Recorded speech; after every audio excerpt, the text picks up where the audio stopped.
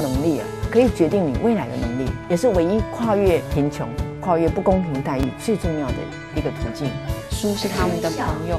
尤其是他们碰到功课的问题呢，我们就透过书啊来查，说有没有一些可以沟通的桥梁。我觉得要怎么样让自己跟别人不一样，就是